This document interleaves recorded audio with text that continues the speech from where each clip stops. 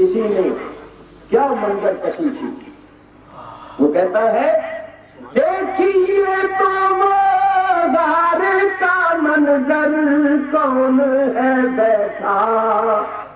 गोद में लेकर। देखिए तो गार का मंजर कौन है बैठा?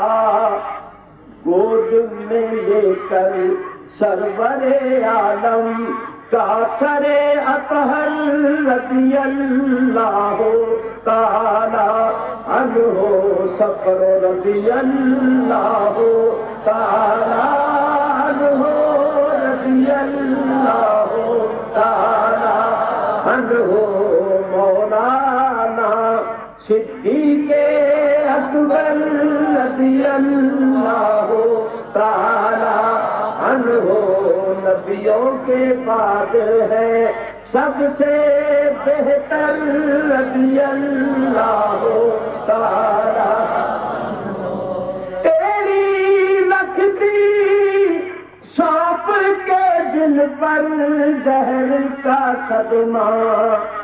सहलिया दिल पर, लिया सब कुछ है ये। खातिर दिल रबी अल्लाह ताला अन हो मौलाना सिद्धि के अकबर शेर सुनिए।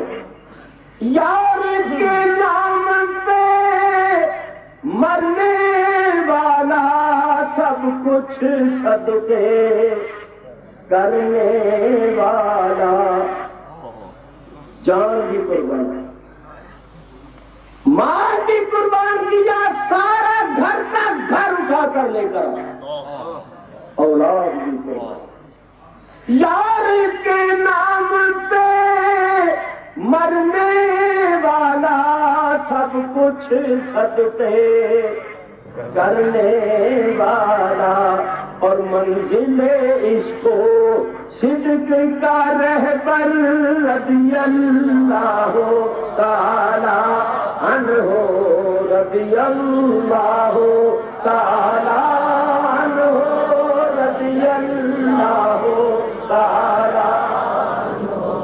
आखिरी बात कर रहा हूं। खिदमत की जान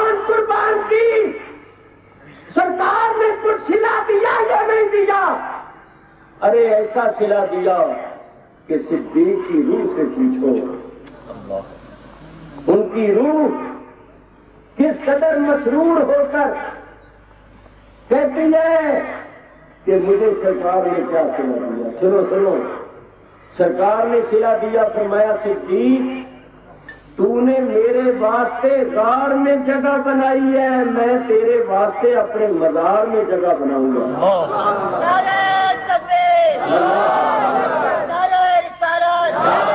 तूने गार में जगह बनाई। मैं तेरे लिए अपने मजार में जगह बनाऊँगा।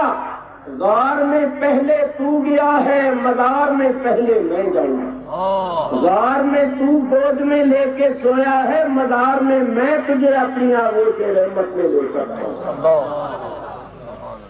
बेशक काबे में पैदा होना ये हज़रत अली की फजीलत है। हम इसको दिला जान से मानते हैं। अरे काबे में हज़रत अली का पैदा होना नज़र आता है। तो सबर गुंबद में और सिद्दीक फारूक का नबी करीम के साथ आराम करना नज़र नहीं आता? काबा अफजल है या सबर गुंबद अफजल है?